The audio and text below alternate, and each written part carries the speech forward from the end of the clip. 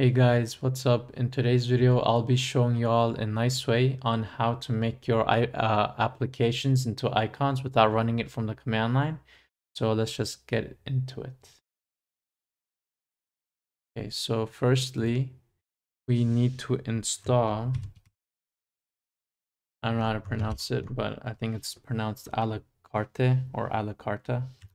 We're gonna sudo apt get install a la carte.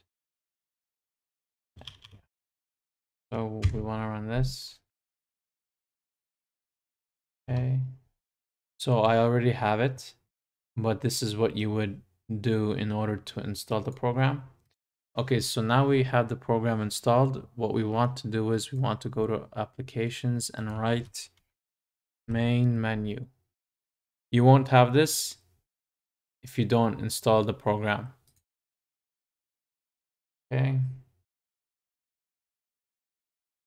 So now what we have to do is we have to press new item or if, if you want it in the um, usual applications like how I have PyCharm over here you press on that usual applications button or if you want to do information gathering you press on that you know whichever one you want so I'll just go to usual applications new item.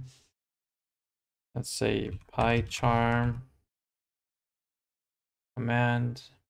Okay so we're gonna we're gonna browse for PyCharm. And it's right here for me. But how did I get here? Let me just show you guys real quick.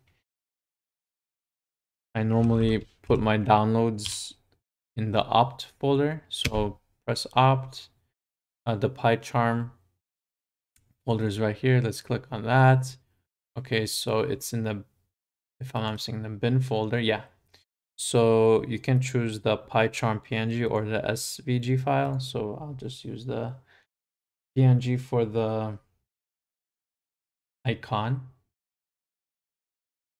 Yeah, I messed up right there over here. You want to click on this button over here and PNG. Okay, so now you have the icon.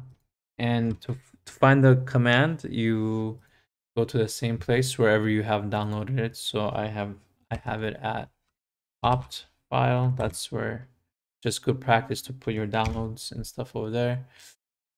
PyCharm, uh, bin. Okay, and this the PyCharm dot, dot sh. You you want you want the program name with the dot sh, and that's pretty much it. You press OK, and then you press OK and since I have PyCharm already, I'm not going to do it twice. So let's close this and open PyCharm real quick. So since I put it in um, usual applications, you right click it and over here it'll say add PyCharm or add to favorites and you just click on that and when you go to your favorites it should be there and it'll take a moment to open. And this is with any uh, with any application, with whether it's Tor, whether it's one. Yeah, so there you go. And it'll open and it'll work like how it how it normally should. And that's it.